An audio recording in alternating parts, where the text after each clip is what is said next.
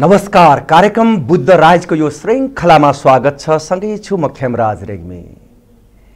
यति बेला केन्द्रदेखि स्थानीय तहसम्म बजेट निर्माण गर्ने र बजेट प्रस्तुत गर्ने कार्यमा जनप्रतिनिधिहरू नेतृत्वहरू जुटिरहेका छन्।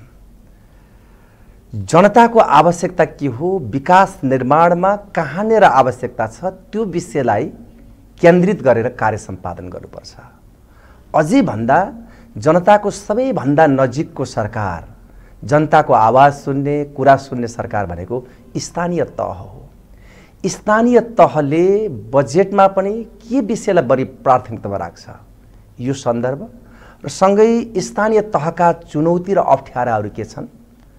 र अधिकांश ठाउँमा बेरोजी बढी देखियो फर्स्योट भएन भन्ने खालका कुरा पनि उठ्छन्। यी विविध सन्दर्भसँग जोडिएर र आफू बसेर प्रशासनको नेतृत्व गरिरहँदाखेरि त्यो क्षेत्रमा भएका उपलब्धि का विषयमा आज हामीले नेपालकै नमुना नगरपालिका तिरोत्तमा नगरपालिकाका प्रमुख प्रशासकीय अधिकृत ऊर्जावान व्यक्तित्व नारायण अर्यालसँग कुराकानी गर्दैछौँ। आउनुहोस् यो कार्यक्रममा म उहाँलाई स्वागत गर्न चाहन्छु। हार्दिक स्वागत छ। नमस्कार धन्यवाद। आराम हुनुहुन्छ? ठिक छ। झन्डै दुई वर्ष पुरा हुन आँट्यो। तपाईँ तिलोत्तमा नगरपालिकाको एउटा जिम्मेवार पदमा बसेर कार्य सम्पादन गरेको यो दुई वर्षभित्र यहाँले कस्तो अनुभव गर्नुभयो? हामी भन्न त एउटा नमुना नगरपालिका भनेर बाहिर व्याख्या गरिरहेको हुन्छौँ यहीबाट म आज कार्यक्रम सुरुवात गर्छु। धन्यवाद छ प्रश्नको लागि। विशेष गरी तिलोत्तमा नगरपालिका विगतदेखि एउटा नमुना नगरपालिकाको रूपमा रहिआएको नगरपालिका हो। र यो विगतको दुई वर्षमा जति बेला मैले बसेर त्यहाँ काम गरेँ आ, तिलोत्तमा नगरपालिकालाई आन्तरिक रूपमा देशव्यापी रूपमा र अन्तर्राष्ट्रिय रूपमै चिनाउने विभिन्न क्रियाकलापहरू हामीले सम्पादन गऱ्यौँ। पुरानो छविलाई बरकरार राख्यौँ र त्यो पुरानो छविमा इँटा थप्ने कामका विभिन्न क्रियाकलापहरू गऱ्यौँ। पुरानै यथास्थितिमा बसेर मात्रै पनि सम्भव छैन। यो रूपान्तरणकारी जमाना हो। त्यसमा नगरपालिकाले अझै नयाँ आयामहरू थप्नुपर्छ भन्ने हिसाबले विभिन्न क्रियाकलापहरू सञ्चालन गऱ्यौँ।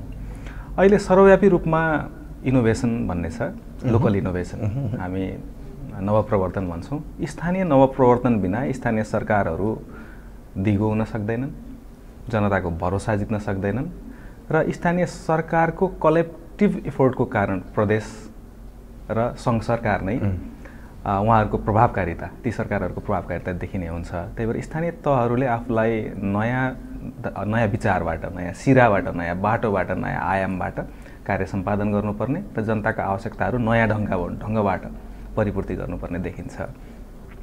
यस बिचमा दुई वर्षमा नगरपालिकाले केही नयाँ कार्यक्रमहरू चाहिँ गर्यो। अब यसको सिनोप्सिस मैले कसरी यहाँलाई बताउँ भन्दा हामी नगरपालिकाले गरेको महत्त्वपूर्ण पार्ट भनेको मैले पटक पटक भन्दै आइरहेको छु। स्थानीय सरकारहरूलाई आफूलाई प्राप्त बजेट र आफ्नो आन्तरिक स्रोत साना टुक्रे खुद्रे आयोजनाहरूमा उनीहरूले लगाए विनियोजन गरे भन्ने जुन एउटा आरोप छ त्यो आरोपलाई चिर्नको लागि हामीले तिलोत्तमा नगरपालिकाले विशेष गरी आफ्ना आयोजनाहरूलाई तिन प्रकारले वर्गीकरण गऱ्यौँ। यसले दिगो प्रभाव पारोस् जनतामा बढी फाइदाहरू पुर्याओस् रोजगारी सिर्जना गरोस् आन्तरिक अर्थतन्त्र चलायमान बनाओस् र गरिबी निवारणमा टेवा पुर्याओस् भन्ने हाम्रो हेतु थियो। सोही अनुरूप हामीले आयोजनालाई तिन प्रकारले वर्गीकरण गऱ्यौँ र त्यो वर्गीकरणको प्रमुख आधार चाहिँ हामीले बजेट विनियोजनलाई बनायौँ। एक तिलोत्तमा प्राथमिकता प्राप्त आयोजना।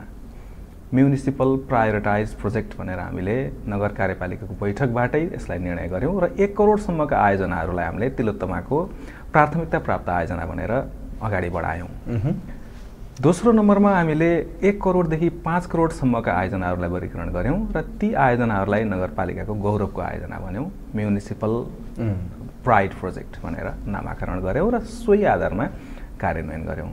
र पाँच करोडभन्दा ठुला आयोजनाहरूलाई हामीले म्युनिसिपल गोल्डन प्रोजेक्ट भन्यौँ र ती नगर स्तरीय स्वर्णिम आयोजनाहरूलाई यो आर्थिक वर्षमा अगाडि बढायौँ यसरी आयोजनाको वर्गीकरण गर्दा आयोजनामा डुप्लिकेसन हुने सङ्घ प्रदेश र स्थानीय तहले एउटै परियोजनामा लगानी गर्नुपर्ने बाध्यता सिर्जना हुने हुन्थ्यो त्यसलाई अन्त्यो अन्त्य भयो।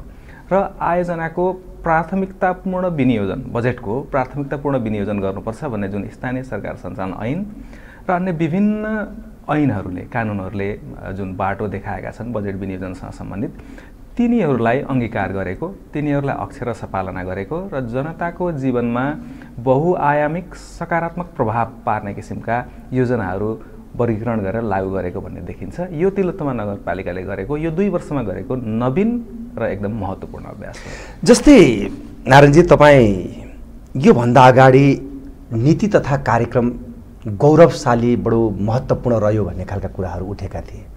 मैले सुन्दाखेरि स्वयं म आफूले हेर्दा पनि। तर अहिले आम नागरिकले अपेक्षा गरेका छन् अब कस्तो आउँछ भनेर।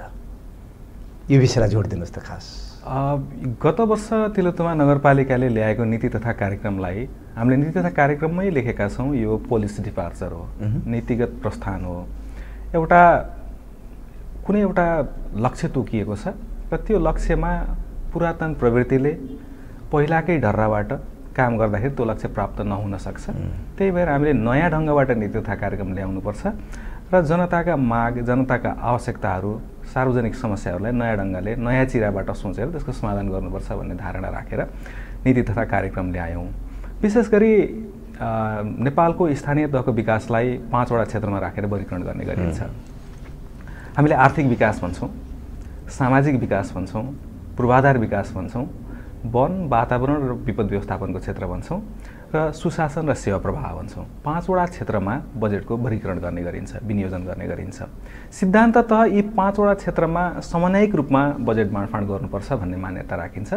तर नेपालको परिवेश पूर्वाधारको विषयमा अलिकति कमजोर रहेको कारणले गर्दा पूर्वाधार विकासमा बढी फोकस गर्ने गरिन्छ। र जनतालाई अहिले अलि बढी आवश्यकता परेको अलि बढी चाहना लागेको अलि बढी हुटहुटी लाग्ने क्षेत्र पनि पूर्वाधार विकास नै देखिएको छ। मानव विकासको क्षेत्रमा बजेट लगानी गर्दा अलिकति अनिच्छुक जस्तो गरिदिए त हुन्थ्यो भन्ने तर अलिकति पूर्वाधारलाई नै फोकस गरिदिँदा राम्रो हुन्थ्यो कि भन्ने जनआकाङ्क्षा पनि रहेको छ। यसलाई अन्यथा पनि किन मान्नु हुँदैन भने यो हामी विकासशील देशहरू विकास निर्माणको चरणमा छौँ र स्थानीय तहले पनि विकास निर्माणको क्षेत्रमा सबैभन्दा पहिला पूर्वाधारमै लगानी गर्नुपर्दछ भन्ने जुन मान्यता छ त्यसैलाई टेकेर हामीले यो पूर्वाधार विकासमा अलिक बढी लगानी गरेको देखिन्छ। तर पूर्वाधार विकासमा पूर्वाधार विकासको क्षेत्रमा लगानी गरिरहँदा हामीले अरू चारवटा क्षेत्रलाई न्याय गरेनौँ भन्ने चाहिँ होइन। हामीले त्यसमा पनि समन्वयिक रूपले सकेसम्म समन्वयिक रूपले बजेट वर्गीकरण गर्ने जुन एउटा पद्धति बसालेका छौँ त्यसले आगामी नीति तथा कार्यक्रम बनाउँदा पनि एउटा बाटो चाहिँ देखाएको छ। अर्को नगरपालिकाले जुन अघि तिन प्रकारले आयोजनाको वर्गीकरण गर्यो त्यो आयोजनाको वर्गीकरण नगरवासीले सबैभन्दा बढी रुचाए यहाँलाई मैले एउटा उदाहरण दिउँ। तिलोत्तमा नगरपालिकाले प्राथमिकता प्राप्त आयोजना अन्तर्गत जुन मैले एक करोडसम्मको बजेटको अघि कुरा गरेँ सत्रवटा वडा छन् हाम्रा। सत्रवटा वडामा सत्र किलोमिटर बाटो पिच गरौँ भन्ने आयोजना ल्याइयो।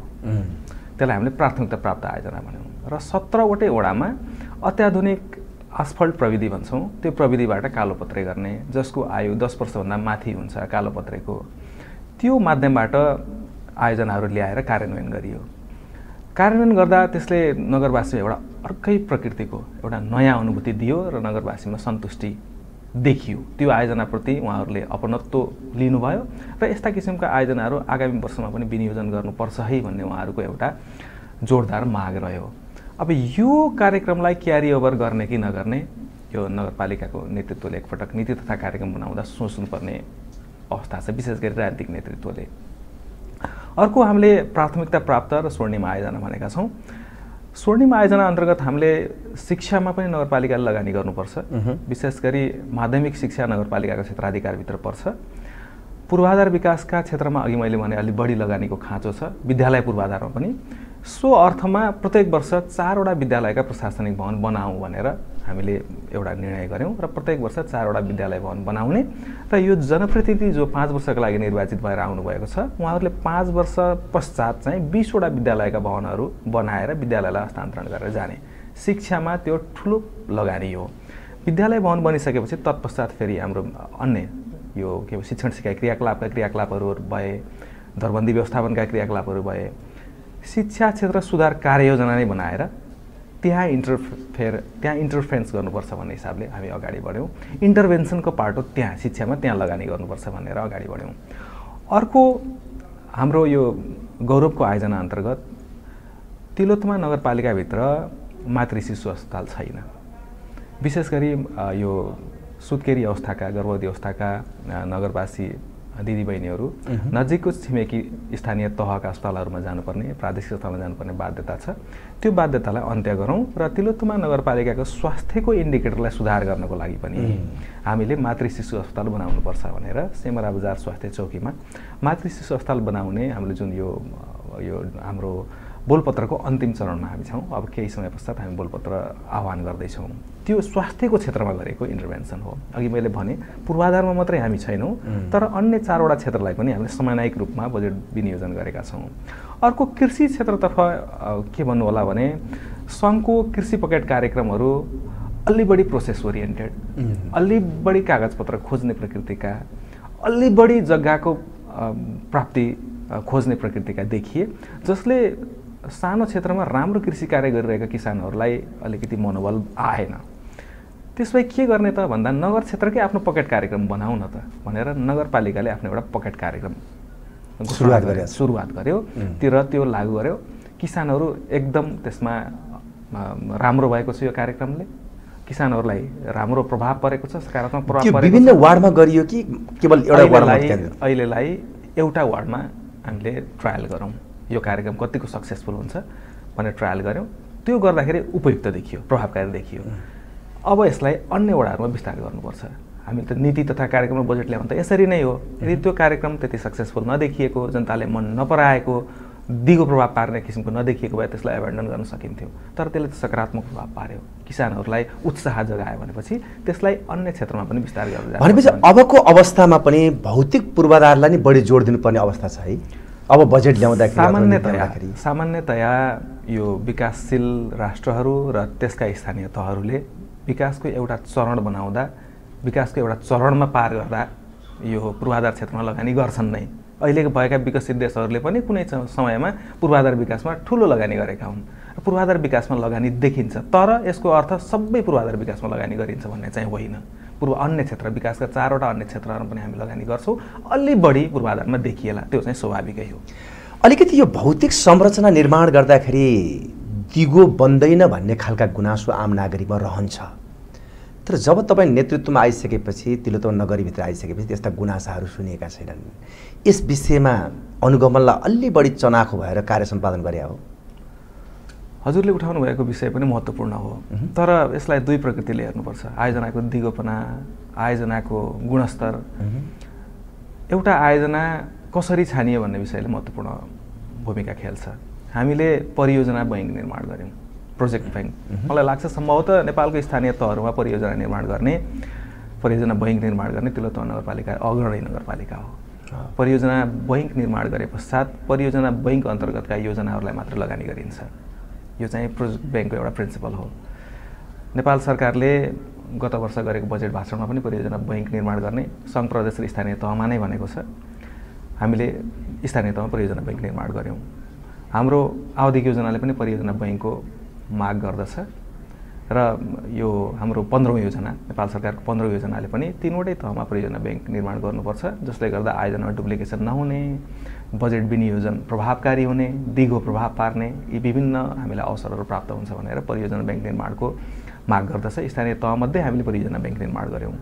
परियोजना ब्याङ्क निर्माण गरिसके पश्चात त्यहाँ विभिन्न परियोजनाहरू बस्ती स्तरबाटै छनौट भएर आएका हुन्छन् र आयोजनाको छनौटका विभिन्न चरणहरू पार गर्दै आइरहेका हुन्छन्। स्थानीय सरकार सञ्चालन ऐनले जुन किसिमको आयोजना छनौटको एउटा मोडालिटी देखाएको छ सोही बमोजिम परियोजना छनौट हुन्छन्। परियोजना छनौट भइसके पश्चात हामीले त्यसको प्रोजेक्ट कन्सेप्ट नोट लेख्छौँ। भनेको त एकदम उत्तम प्रकृतिको कार्य हो। यो धेरै स्थानीय तहले गर्दैनन् त्यो काम। परियोजना कन्सेप्ट नोट लेख्यौँ त्यसको सोट एनालिसिस गऱ्यौँ प्रब्लम ट्री बनायौँ प्रो समस्या कसरी समाधान गर्न सकिन्छ भने त्यसको बाटो खोज्यौँ व्यापक वाइडर डिस्कसन गऱ्यौँ ठुलो छलफल गऱ्यौँ र परियोजनाको लाभग्राही वर्गसँग गएर छलफल पनि गऱ्यौँ हामीले। तत्पश्चात बल्ल हामी विस्तृत परियोजना प्रतिवेदन निर्माण गर्न लाग्यौँ। विस्तृत परियोजना प्रतिवेदन निर्माण गरिसके पश्चात परियोजनाका जोखिमहरू पत्ता लाग्छ। परियोजना कारण गर्दा के के जोखिम हुन सक्छन् र तिनीहरूलाई हामीले कसरी समाधान गर्ने भन्ने विषय पहिले नै छलफल भएको हुन्छ। विस्तृत परियोजना प्रतिवेदन पहिले नै हामीले निर्माण गरेको कारणले परियोजना कार्यान्वयनको चरणमा हामीलाई समस्या परेन जग्गाको समस्या परेन जनताले विरोध गर्ने समस्या परेन अनि परियोजना सफल कार्यान्वयन भयो। कार्यान्वयन भइसके पश्चात अब बल्ल हजुरले उठाएको विषय आयोजनाको अनुगमनको पार्ट आयो। अनुगमन पनि हामीले रिगोरस अनुगमन गऱ्यौँ र क्वालिटीमा हामी कम्प्रोमाइज नै गरेनौँ। हाम्रो जुन विस्तृत परियोजना प्रतिवेदनले जुन जुन गाइडलाइनको आधारमा परियोजना कार्यान्वयन गर्नुपर्छ भनेर मार्गदर्शन गरेको थियो सोही बमोजिम हामीले परियोजनाको कार्यान्वयन गऱ्यौँ जस्तै गुणस्तरलाई बढी फोकस गऱ्यौँ। क्वालिटी क्वान्टिटी कस्ट टाइम भन्छौँ हामीले विशेष गरी पर्फर्मेन्स इन्डिकेटरहरू यी चारवटै विषयमा तिलोत्तमा नगरपालिका खरो उत्रिएर आयो र हाम्रो परियोजनाहरू दिगो र गुणस्तरीय भए। अघि मैले भने अस्फाल्ट प्रविधि किन छान्यौँ भन्दाखेरि अरू कालो पत्रेहरू अलिक कम टिकाउ हुने छोटो समयको लागि टिकाउ हुने प्रकृतिका देखि त्यही भएर गुणस्तरीय प्रविधिमा जाउँ भनेर हामीले गुणस्तरलाई पनि एस्योर गऱ्यौँ र गुणस्तरमा यहाँले भन्नुभएको प्रश्न उठाउने ठाउँ अलिकति कम रहे र गुणस्तरलाई नगरपालिकाले बढी प्राथमिकता अलिकति खड्किएको प्रश्न म उठाउँछु कि? हुन त जनप्रतिनिधिले आफ्नो काम के हो दायित्व के हो त्यो पूर्ण गर्नुपर्ने उनीहरूको जिम्मेवारी हुन्छ। जहाँ जे आवश्यकता छैन अन्यत्र ठाउँमा चाहिँ त्यो लैजानुपर्छ भन्ने खालका कुराहरू पनि बढी उठ्ने गर्छन् कि। यस्तो परिस्थितिमा हामीले सबै जनताको मन जित्ने गरी काम गर्नका लागि स्वयं जनप्रतिनिधिले खेल्नुपर्ने भूमिका के रहन्छ र हामीले गर्नुपर्ने काम के हुन्छ खास? अब जनप्रतिनिधिको भूमिका त विभिन्न कानुनहरूले व्याख्या नै आफै निर्धारण आफैले निर्धारण गरेको छ उहाँहरूको भूमिकाहरू। तर यो पोलिटिक्स एडमिनिस्ट्रेसन डाइगोटोमी भन्छ। यसमा राजनीतिले के गर्ने प्रशासनले के गर्ने भनेको एउटा भेद छ। के विश्लेषण गरिन्छ भने जति जति माथिल्लो लेभलमा जान्छ राजनीति र प्रशासनको सीमाहरू धुमिल हुँदै जान्छन्। कहिलेकाहीँ राजनीतिले प्रशासनको काम गरिदिन थाल्ने र कहिलेकाहीँ प्रशासनले राजनीतिको काम गर्न थाल्ने पनि देखिन सक्छ किनकि सीमाहरूमा ब्लर आउँछ भन्छ र धुमिल देखिन सक्छ भन्छ। हाई लेभलमा त्यो देखिन सक्ने सम्भावना रहन्छ तर स्थानीय तहमा स्पष्ट निर्धारण छ। नगर प्रमुखले के गर्ने? नगर उपप्रमुखले के गर्ने? कार्यपालिका सदस्यले के गर्ने? वडा अध्यक्षले के गर्ने? नगरसभा सदस्यले के गर्ने? विषयगत समितिको संयोजक र सदस्यले के गर्ने? प्रमुख प्रशासकीय अधिकारीले के गर्ने भन्ने कुरा स्पष्ट निर्धारण गरिएको छ। त्यो निर्धारण जुन कानुनले निर्धारण गरेको सीमा छ त्यो भित्र रहेर काम गर्ने हो भने चाहिँ समस्या आउँदैन। तर कहिलेकाहीँ हामीमा आत्मकेन्द्रित सोच होइन? आफूले ल्याएका कुराहरू लागू गर्न पर्छ भन्ने मानसिकता। ती यी विभिन्न कल्चर कस्तो किसिमको अपब्रिङ्गिङ हो त्यस त्यो कल्चरले पनि प्रभाव पार्छ र सोसियो डेमोग्राफिक इफेक्ट त देखिन्छ नै। यहाँले उठाउनु भएको विषय यो नेपालको बजेट विनियोजनको चरणमा विभिन्न अवस्थामा देखिन्छ। आफ्नो आफूले छानेका आफ्नो निर्वाचन क्षेत्र भनौँ न अझ विशेष गरी त्यतातिर बजेट अलि बढी विनियोजन गर्न खोज्ने प्रकृति सङ्घमा पनि देखिन्छ र स्थानीय तहमा पनि त्यो त्यसको एउटा बाछिटा चाहिँ परेको छ। तर त्यो गर्न दिनु हुँदैन। जब नगर प्रमुख नगर उपप्रमुख कार्यपालिका सदस्य नगरसभा सदस्य भनेर उहाँहरू आइसक्नुहुन्छ तत्पश्चात उहाँहरूको एउटा पोलिटिकल न्युट्रालिटी देखिनुपर्छ र नगरपालिकाका जनताले आवश्यकता गरे बमोजिमका क्रियाकलापहरू सञ्चालन गर्नुपर्छ भन्ने मान्यता राखिन्छ। नीति निर्माण गर्ने। यो हाम्रो राजनीतिले हो। नीतिको कार्यान्वयन गर्ने चाहिँ प्रशासनले हो। त्यो। बजेट निर्माण गर्दाखेरि व्यापक छलफल गर्ने बजेट निर्माण गरिदिने उहाँहरूले हो र त्यसको कार्यान्वयन गर्ने कर्मचारीले हो। तर नीति निर्माणमै अलिकति समस्या देखियो बजेट निर्माणमा समस्या देखियो भने कार्यान्वयनमा असम्भावित त्यसमा समस्या देखिन्छ। त्यही भएर समस्या नपर्ने प्रकृतिले समस्या नआउने तरिकाले नीति तथा कार्यक्रम र बजेट निर्माण गर्नुपर्छ। त्यो भनेको जनताको आवश्यकता बमोजिम नीति निर्माण भएर आउनुपर्छ भन्ने हो। न कि कसैलाई लागेको होइन कुनै राजनीतिकलाई लागेको कुनै पदाधिकारीलाई लागेको विषयले नीति तथा कार्यक्रम विनियोजन गरिनु हुँदैन। जस्तै मैले यहाँनिर सोधेँ कि तपाईँ विगतको वर्ष जुन खालको बजेट प्रस्तुत गरियो यसलाई कार्यान्वयन गर्दाखेरि के कस्ता चुनौतीहरू देखिए? यो कस्तो देखिन्छ भने स्थानीय तहहरू परिपक्व भइसकेको अवस्था पनि होइन। सङ्घीयता पनि अहिले एउटा हामीले जुन व्याख्या गर्छौँ त्यो परिपक्व सङ्घीयता नेपालमा छैन। बल्ल दोस्रो कार्यकाल जनप्रतिनिधिको छ सिकाइकै चरणमा छ। स्थानीय तहमा जुन कर्मचारीहरूको व्यवस्थापन भएको छ कर्मचारी व्यवस्थापन पनि हाई लेभलको कर्मचारीको व्यवस्थापन हुन सकेको छैन। दरबन्दी पदपूर्ति कुनै पदहरूमा पूर्ण रूपमा दण्ड दरबन्दी पदपूर्ति भएको पनि छैन। अब विभिन्न अध्ययनहरूले के देखायो भने स्थानीय तहमा क्षमताको अभाव छ क्यापेसिटी डिफि डेफिसिट भन्छ। जनप्रतिनिधिमा पनि कर्मचारीमा पनि क्यापेसिटी डेफिसिट छ। त्यो क्यापासिटी डेफिसिट चाहिँ हजुरको नीति तथा कार्यक्रम र बजेट बनाउने बेलामा पनि देखिन्छ। कार्यान्वयन गर्ने बेलामा पनि देखिन्छ र त्यसको इभ्यालुएसन गर्ने चरणमा पनि देखिन्छ। त्यो डेफिसिटलाई कम गर्नको लागि सकेसम्म कम गर्नको लागि वाइडर डिस्कसन गर्ने होइन? ट्रेनिङ कार्यक्रमहरू चलाउने यी विभिन्न क्रियाकलापहरू गर्नुपर्ने देखिन्छ। कार्यान्वयनमा नीति तथा कार्य कार्यक्रम कार्यान्वयनमा तिलोत्तमा नगरपालिका अब्बल नै देखिन्छ। हामीले जति पनि कार्यक्रम ल्यायौँ ती कार्यक्रमहरू हामीले स्मुथ रूपमा चलाइ नै रहेका छौँ। किन चलायौँ भन्दा अप्ठ्यारो आएन। अप्ठ्यारो अप्ठ्यारै नआउने भन्ने त होइन तर जुन किसिमको अन्य स्थानीय तहले अप्ठ्यारो अनुभव गरेका छन् नगर हाम्रो नगरपालिकाले त्यो अप्ठ्यारो चाहिँ अनुभव गरेको छैन अहिलेसम्म। यद्यपि केही अप्ठ्याराहरू आउँछन् नीति तथा कार्यक्रम कार्यान्वयन गर्दा बजेट कार्यान्वयन गर्दा केही अप्ठ्यारोहरू आउँछन् ती अप्ठ्याराहरूलाई पनि आपसी छलफलबाट निम्ट्याउने हो। होइन आर्टिस्टिक दृष्टिकोण देखाउने व्यक्तिवादी चरित्र देखाउने भने समस्या समाधान गर्न सकिँदैन तर एउटा होलिस्टिक रूपमा सोच्ने नगरपालिकाको हितमा सोच्ने भने ती समस्याहरू समाधान गर्न सकिन्छ।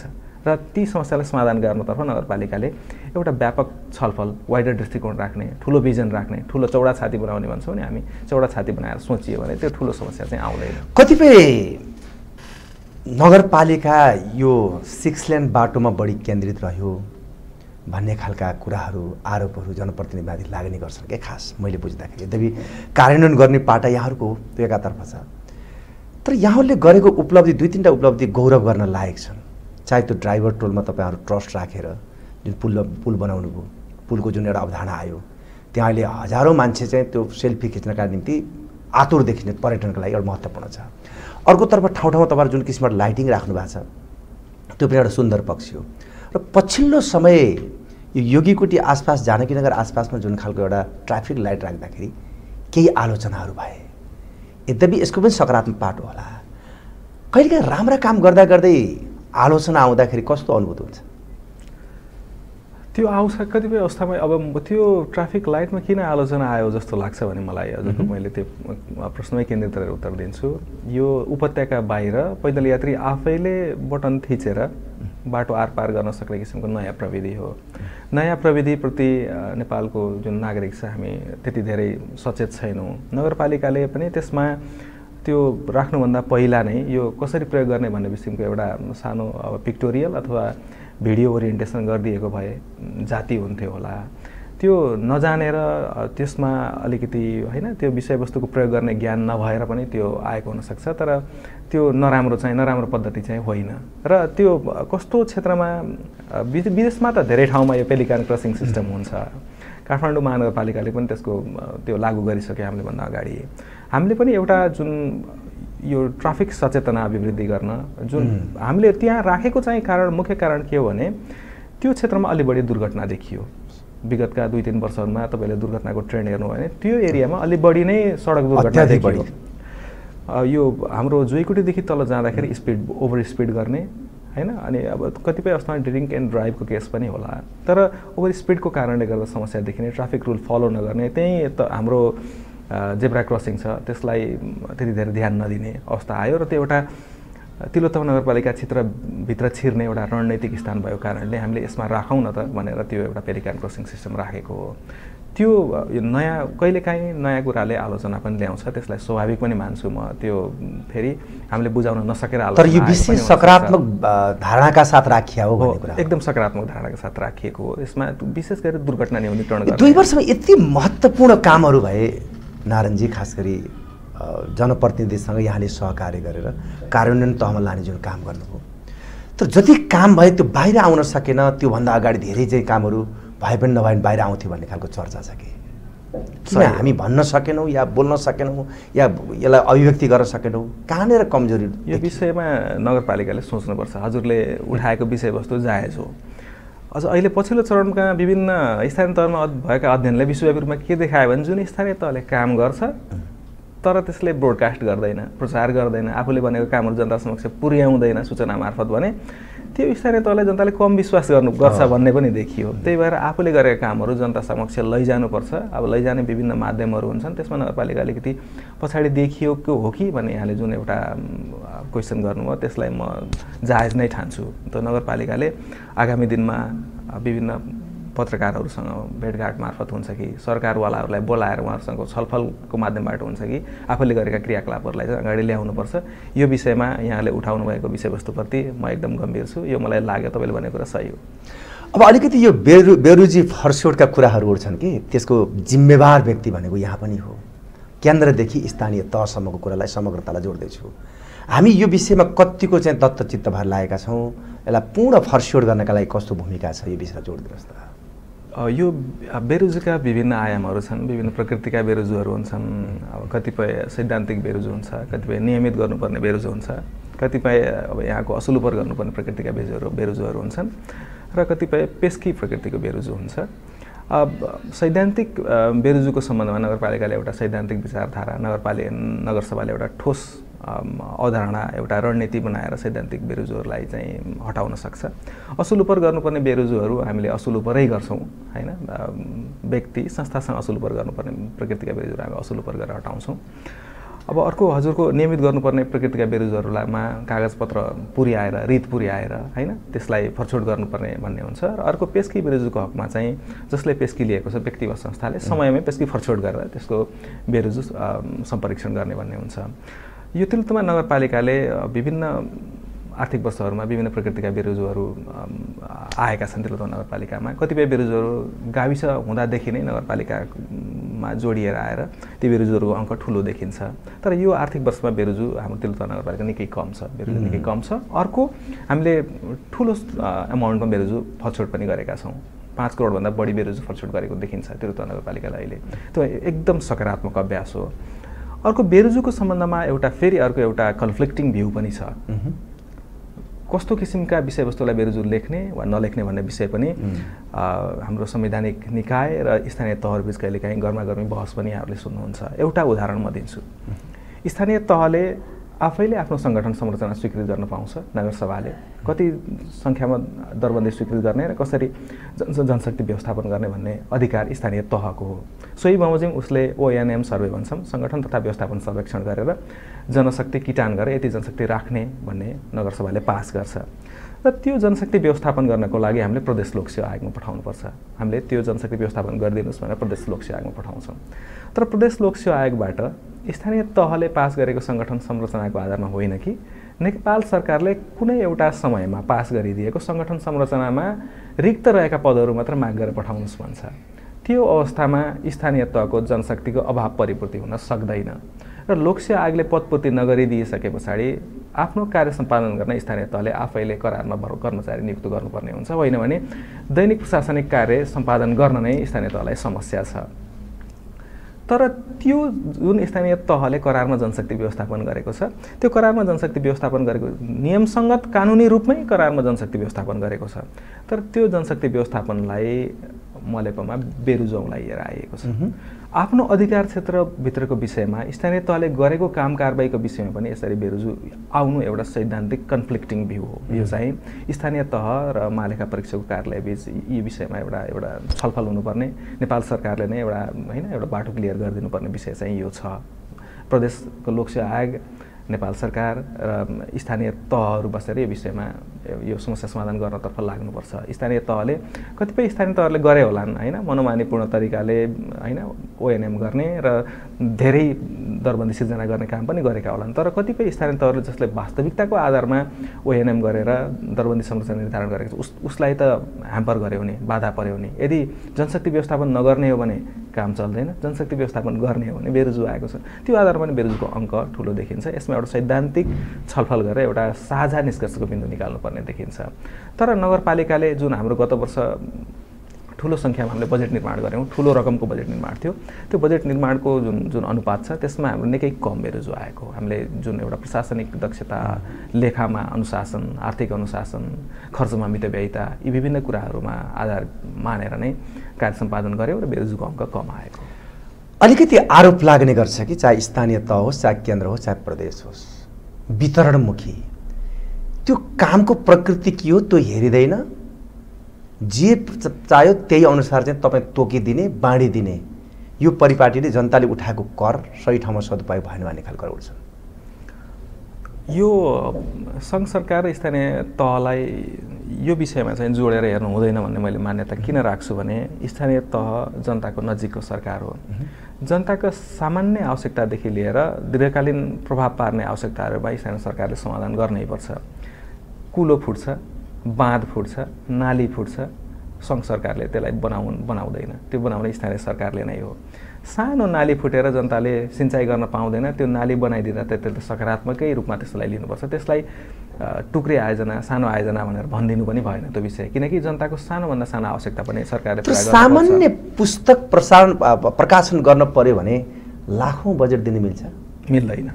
त्यसको चाहिँ एउटा निश्चित शर्त छ गाइडलाइन छ मान्यता छ कस्ट इस्टिमेसन छ त्यसको आधारमा मात्रै नगरपालिकाले खर्च गर्न मिल्छ। यी यी प्रकृतिका केही उदाहरणहरू यहाँले दिनुभयो त्यो स्थानीय तहमा देखिन्छ होला। तर जनतालाई आवश्यकता पर्ने किसिमका साना आवश्यकताहरू पनि स्थानीय तहले चाहिँ पुरा गर्नुपर्छ। स्थानीय तहको जुन वडा कार्यालयहरू सबभन्दा लोएस्ट युनिटहरू छन् तिनीहरूले जनताको आवश्यकता नै सम्बोधन गर्ने हो। उहाँहरूले होइन दैनन्दिन समस्या आइपर्छ नि त जनतालाई कहिले विद्युतको तार चुट्छ कहिले यहाँको रोडमा खाल्टो पर्छ होइन? कहिले आगलागी हुन्छ होइन? घर जल्छ नष्ट हुन्छ। यी विभिन्न सानातिना आवश्यकताहरू नगरपालिकाले पर परिपूर्ति पनि गरिदिनुपर्छ तर यसमा मात्रै बजेट विनियोजन गर्ने होइन कि?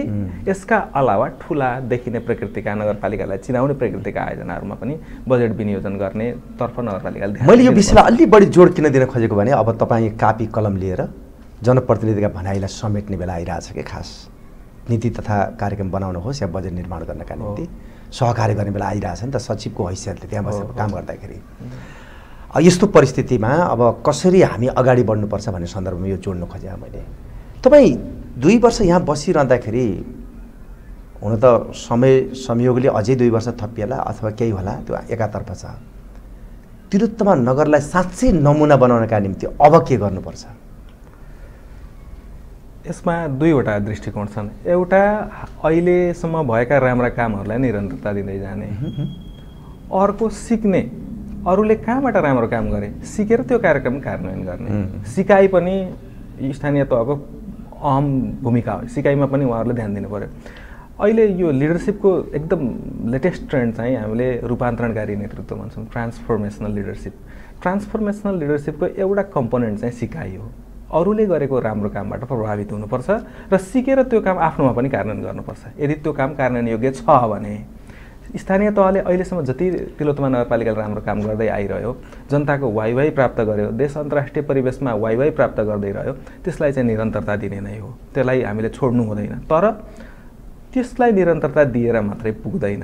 नयाँ दृष्टिकोण नयाँ भिजन नयाँ सोच मार्फत र अन्य स्थानीय तहले अन्य सरकारले होइन राष्ट्रिय अन्तर्राष्ट्रिय क्षेत्रमा गरेका आफूले गर्न सक्ने गर्न योग्य कामहरू चाहिँ तिलतुवा नगरपालिकाले त्यो कन्सेप्ट ल्याएर नयाँ भिजन ल्याएर कार्यक्रम कार्यान्वयन गर्ने दुई दृष्टिको दुई तरिकाबाट यसलाई सोच्नुपर्छ। उदाहरण मैले यहाँलाई दिन्छु। गत वर्ष यो लम्पी स्किनको रोग ठुलो महामारीको रूपमा गाई गोरुमा देखियो।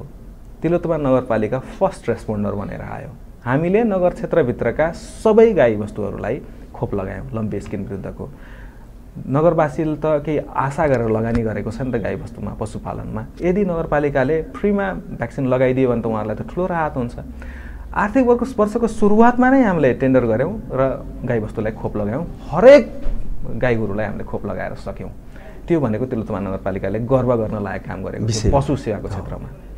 हामीले अर्को नगरपालिकाले अर्को राम्रो कामलाई कन्टिन्यू यो हामीले नयाँ दृष्टिकोणबाट काम गऱ्यौँ। अर्को राम्रो कामलाई के कन्टिन्यू गऱ्यौँ भने जसले दुध उत्पादन गर्नुहुन्छ त्यो दुध उत्पादनलाई उत्पादनको आधारमा नगरपालिकाले अनुदान दिँदै आइरहेको छ त्यसलाई हामीले कन्टिन्यू गरिदियौँ। किनकि त्यसले पनि किसानलाई पशुपालक किसानहरूलाई राहत दिन सकोस् भनेर त्यस त्यो कार्यक्रमको कन्टिन्युसन गऱ्यो र अर्को कार्यक्रममा नयाँ दृष्टिकोण ल्याएर कार्यान्वयन गऱ्यो कृषिमा अघि मैले भने नगरपालिकाले सङ्घ सरकारले पठाएको पकेट विकास कार्यक्रम त लागू भइरहेको छ नि। तर अर्को के नयाँ सोच ल्यायो भने नगरपालिकाको पनि आफ्नो पकेट विकास कार्यक्रम लागू गरौँ होइन? त्यसपछि गएर पशुपालन कृषकहरूलाई बिमामा अनुदान दियौँ बिमामा अनुदानको कामहरू गऱ्यौँ। मातृ शिशु अस्पताल बनाऊ। अरू दुईवटा पन्ध्र सयको अस्पताल त बनेकै छ। त्यसमा जेनरलाइज सर्भिस प्राप्त हुन्छ तर मातृ शिशु अस्पतालमा डेडिकेटेड सर्भिस प्राप्त हुन्छ। यो मातृ र शिशु जुन गर्भवती अवस्थाका महिलाहरू र बा बाच्चा नवजात शिशुहरूलाई उपचार गर्न सकिन्छ। त्यस्तै नगरपालिकाका स्वास्थ्य क्षेत्रमा अहम भूमिका महत्त्वपूर्ण भूमिका निर्वाह गर्छ। त्यसमा इन्टरभेन्सन गरौँ त्यसमा लगानी गऱ्यौँ होइन? अनि त्यसपछि गएर हामीले महिला विकासको क्षेत्रमा हामीले यो गवर्गको अपाङ्गतालाई पनि भत्ताको व्यवस्था गऱ्यौँ होइन? यो अत्याधुनिक आइडेन्टिटी कार्डको अपाङ्गता परिचय पत्रको व्यवस्थापन गऱ्यौँ। यसले सहजता भयो बोकेर हिँड्न सक्ने सहजता गाडीहरूमा देखाउन सक्ने सहजता पहिला ठुलो आकारको थियो अहिले एटिएम कार्ड साइजको सानो परिचय पत्र छरितो देखिन्छ। बोकेर हिँड्न पनि सहज भयो उहाँहरूलाई। त्यसमा इन्टरभेन्सन गऱ्यौँ। नक्साको क्षेत्रमा घर नक्साको क्षेत्रमा सधैँभरि सात दूर आठ दूर नौ दूर दस दूरमा घर बनाउने प्रचलन छ यहाँ विशेष गरी यसलाई अन्यथा लिनु पनि भएन। त्यसमा घर बनाउने प्रचलन छ। घर नक्सा बनाउँदा ठुलो धनराशि खर्च हुन्छ कन्सल्टेन्सीमा गएर। हामीले होइन। हामीले दसवटा नक्सा नगरपालिका आफैले बनाइदिउँ विभिन्न प्रकृतिका। नगरपालिकाले आफै बनाइदिउँ र त्यो नगरपालिकाले बनाएको नक्सा यदि कुनै नगरवासीले त्यो नक्सा मन पराएर पास गर्नुहुन्छ भने उहाँहरूलाई कन्सल्टेन्सी चार्ज लागेन। बिस पच्चिस हजार त जोगियो नि त। महत्त्वपूर्ण महत्त्वपूर्ण काम भएको छ। द हामीले दसवटा नयाँ सेक्टरका नक्साहरू दिएका छौँ। उहाँहरूलाई ला उहाँहरूले त्यो इच्छा गर्नुहुन्छ त्यो हामीले फ्रीमा उपलब्ध गराइदिन्छौँ। घर नक्साको क्षेत्रमा त्यो गऱ्यौँ। अर्को हामीले सफ्टवेयर बेस्ड विभिन्न शाखाहरूले सफ्टवेयर बेस्ड बनायौँ। दर्ता चलानी शाखादेखि लिएर तपाईँको नक्सा शाखादेखि लिएर राजस्व शाखा योजना शाखा न्यायिक समितिको सचिवालय आर्थिक प्रशासन शाखा होइन हाम्रो महिला बालबालिका तथा ज्येष्ठ नागरिक शाखा सबै सफ्टवेयर बेस्ड छन्। यसले सेवा प्रवाहमा सरलता ल्यायो सुशासनको प्रमुख इन्डिकेटर भनेको नगरपालिकाले सेवा प्रवाहमा सरलता गरेको छ कि छैन भन्ने कुरो हो। अर्को हामीले विपद व्यवस्थापन क्षेत्रमा महत्त्वपूर्ण काम गऱ्यौँ हामीले स्थानीय आपतकालीन कार्य सञ्चालन केन्द्र LEOC local level emergency operation centre स्थापना गऱ्यौँ र विपदको तिनवटै चरणमा विपदभन्दा अगाडि विपदको समयमा र विपद पश्चातको तिनवटै चरणमा चाहिने धेरै हामीले उपकरणहरू नगरपालिकामा सञ्चित गरेर राखौँ। ताकि विपद आएको क्षेत्रमा नगरपालिका फर्स्ट रेस्पोन्डर बन्न सक्यो। अर्को महत्त्वपूर्ण विषयवस्तु हामीले सबै वडामा विपद व्यवस्थापन कार्यदल बनायौँ। सत्र वडाबाट पाँच पाँचजना जनशक्ति ल्याएर पचासीजना जनशक्तिमा हामीले के गऱ्यौँ भन्दा उहाँहरूलाई तालिम दियौँ र एउटा डाइरेक्टरी नै बनाएर उहाँहरूलाई राख्यौँ। विपद परेको खण्डमा वडाले आफैले पाँचजना जनशक्ति परिचालन गर्न सक्ने भयो। अर्को हामीले तिलोत्तमा इन्फर्मेसन सेन्टर तिलोत्तमा सूचना केन्द्र स्थापना गऱ्यौँ। सबैभन्दा महत्त्वपूर्ण पाटो। राजमार्गका विभिन्न क्षेत्रहरू हाम्रो योगी कुटीदेखि कोटिवासम्मको क्षेत्र र दुईवटा सिमाना नगरपालिकाको सिमानामा र रणनीतिक स्थानमा सिसिटिभी क्यामेरा जडान गऱ्यौँ र त्यसको फिड हाम्रो कन्ट्रोल पोइन्ट नगरपालिकामा स्थापना गऱ्यौँ। अस्ति भर्खर हामीले त्यो कार्यक्रमको समुद्घाटन गऱ्यौँ। यसले पनि नगरपालिकावासीलाई सुरक्षाको अनुभूति दिलायो। त्यस पश्चात हामीले अरू के गऱ्यौँ भन्दाखेरि योजनाको क्षेत्रमा तिन प्रकारले योजनाको वर्गीकरण गऱ्यौँ। अघि भन्नुभयो यहाँले आका आकाशे पुलमाथि ट्रस राख्ने काम भएको छ। अहिले मणिग्राममा अत्याधुनिक आकाशे पुलमाथि होइन सिसा जडित एउटा पुल बनाउनु खोज्यो त्यसले एट्र्याक्सनको पोइन्ट अफ भ्यू हो। फोर ए पर्यटनलाई जोड्ने। टुरिज्मको लागि चारवटा ए चाहिन्छ भन्छ। त्यो चारवटा ए मध्ये एउटा एट्र्याक्सन त्यो एट्र्याक्सनको एउटा केन्द्रको रूपमा हामीले त्यो बनाउन खोजेको। नगरपालिकाको छेउमा रहेको सार्वजनिक जग्गा थियो जुन पहिला फालिएर रहेको थियो त्योमा हामीले Tilottama national flag and IT park निर्माण गर्दैछौँ। नेपालको एउटा राष्ट्रिय झन्डा जसले नेपाललाई हामीलाई नेपाली उनमा गर्वबोध गराउँछ त्यो राष्ट्रिय झन्डा नेपालको ठुलो राष्ट्रिय झन्डा हामीले त्यहाँ राख्दैछौँ। अर्को तिलोत्तमा नगरपालिकाका दुईजना महत्त्वपूर्ण खेलाडीहरू अहिले वर्ल्ड कप खेल्दै हुनुहुन्छ T twenty world cup T twenty world cup खेल्नका लागि नगरपालिकाले अहिले भर्खरै स्टेडियम त बनाइदिन सक्दैन तर ती खेलाडीहरूको आमा बुवाहरूलाई साथीभाइहरूलाई दाजुभाइ दिदीबहिनीहरूलाई अङ्कल काका काकीहरूलाई नगरवासीहरूलाई एकै ठाउँमा लगेर त्यो खेलको लाइभ प्रसारण त नगरपालिकाले देखाइदिन सक्छ नि। त्यो आधारमा हामीले डिजिटल स्क्रिन बोर्ड जडान गर्दैछौँ। नेपालले खेल्ने वर्ल्ड कपमा खेल्ने सबै म्याचहरू हामीले लाइभ ब्रोडकास्ट गरिदिँदैछौँ। त्यो कार्यक्रम हामीले केही समयपछि त्यसको पनि उद्घाटन गर्दैछौँ जुन हाम्रो नगरपालिकाले जेठ बाइस गते सरी हाम्रो नेपालले जेठ बाइस गते वर्ल्ड कप खेल्दैछ पहिलो वर्ल्ड कप त्यसमा हामीले लाइभ टेलिकास्ट गरिदिने जहाँ कि हाम्रो खेलाडीहरूमा गर्वबोध हुन सक्यो। त्यो कार्यक्रमहरू हामीले गर्दैछौँ। प्रत्येक वडामा हामीले पार्कहरू बनाएको छौँ। तिलोत्तमा नगरपालिकाले आफ्नै नगर सम्पदा सूची जस्तो विश्व सम्पदा सूची यहाँले थाहा पाउनुहुन्छ त्यस्तै नगर सम्पदा सूची तयारी निर्माण गर्न तयारी गर्दैछ। तिलोत्तमा सिमसार क्षेत्र विश्व सिमसार क्षेत्र पनि यहाँले सुन्नुहुन्छ त्यस्तै नगरपालिका आफ्नै सिमसार क्षेत्र बनाउँदैछ। यी विभिन्न क्रियाकलापहरूमा लगानी नगरपालिकाले लगानी गर्दैछ र यो पोलिसी डिपार्चर हो। पहिलाको भन्दा पृथक क्रियाकलापहरू हो र यस्ता क्रियाकलापहरूलाई अगाडि बढाउँदै लैजानुपर्छ। अन्त्यमा छौँ हामी। अन्त्यमा निचोडमा यो टेलिभिजन हेर्ने आदरणीय दर्शक महानुभाव जो विभिन्न स्थानीय तहमा बस्नुहुन्छ क्षेत्रमा बस्नुहुन्छ। एउटा नमुना नगरको प्रमुख प्रशासकीय अधिकृत भएर दुई वर्ष त्यहाँ कार्य सम्पादन गरिसक्नुभयो यहाँले। के भन्नुहुन्छ? निचोडमा। अब यो नगरपालिकाहरू स्थानीय तहहरू सङ्घ र प्रदेशभन्दा बढी विश्वास गरिएका इकाइहरू हुन्।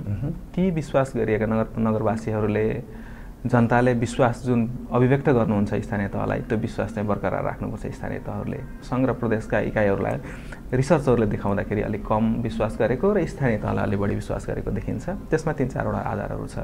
एउटा एप्रोक्सिमेट लिभिङ भन्छ। नगरपालिकाको जनप्रतिनिधिसँगै नगरवासीको बसोबास छ। एप्रोक्सिमेट लिभिङ छ केही समस्या पऱ्यो भने गएर भनिहाल्न पाइन्छ। त्यही भएर विश्वास छ। अर्को access to in organisational environment भन्छ। हजुरको साङ्गठनिक जुन सङ्गठन छ नगरपालिकाको प्रशासनिक भवन छ वडा कार्यालय छ इजी एक्सेस छ। त्यतिको एक्सेस प्रदेश सरकार र सङ्घ सरकारमा छैन। त्यो एक्सेसको कारणले पनि विश्वास छ। अर्को डुवेल कन्स्टिट्युन्सी भनिन्छ नगर नगर प्रमुख उपप्रमुखहरू आफू नागरिक पनि हो र नगर प्रमुख पनि हो। त्यही नागर त्यही छ। त्यो ठाउँको। आफूले नगरवासी भएर के काम गर्नुपर्छ होइन? कस्तो कस्तो काम गजगच्याउनुपर्छ र नगर पिता भएर कस्तो काम गर्नुपर्छ? दुईवटै विषयवस्तुलाई ध्यानमा राखेर उहाँहरूले काम गर्नुपर्छ। यी विभिन्न आयामहरूमा स्थानीय तहलाई बढी विश्वास गरिन्छ।